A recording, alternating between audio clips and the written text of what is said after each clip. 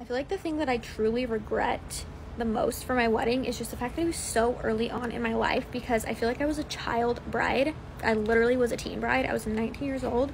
So just the fact that that was so early on in my life and I'll like never plan another wedding again or like have that experience again when I'm still so young. I'm only 26, but the Utah culture, it got to me, it brainwashed me I was believing that that was normal to get married at 19 and obviously a lot of people get married young but just now that I'm older and I like know who I am more and whatever I'm like wow I hope my daughters do not want to get married that young um and I also feel like I just was not super interested in even like planning the wedding and like all the details of everything, which I've never been super into. Like, I want a big, huge wedding and I want it to be really fancy and expensive. And like, I dream about this and that and this. I kind of was just like, let's like do it as simple as we can. I didn't want to spend a lot of money, which I still stand by because I would rather spend like not a lot of money and then take other money and go on a vacation, like go on a really fun honeymoon and keep the wedding simple because I just cannot imagine spending so much money like all in one night just for like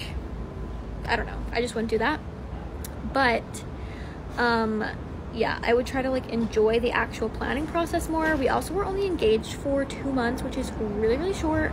So I would try to just really enjoy like that phase of everything and just actually planning the wedding and like doing the fun wedding stuff because I just like rushed through all that. And we were engaged so short because our house was like supposed to be finished and we wanted to just like be able to move into our house and whatever. That's another thing. Lived together before. Every time I say that, people are like, oh, statistically, like, you're more likely to get divorced if you. No.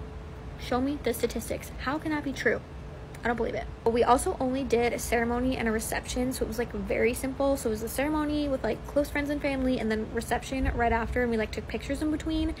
And I think it would have been fun to make it more of like a weekend. I would do a smaller guest list with only like really close friends and family, and I would do more of a weekend um, or something where we just like actually did more stuff. I would just want to have like a really fun, good weekend with the people that we love and that love us the most. I would not be inviting like random people. Also, I feel like Parker and I did not spend a lot of time together at our wedding. We didn't do a line, which I'm happy about. Like when you stand together and the guests all come up and like talk to each of you, because that will just take up your whole time. But I feel like we were not even really together for a lot of the wedding. So I regret that a lot.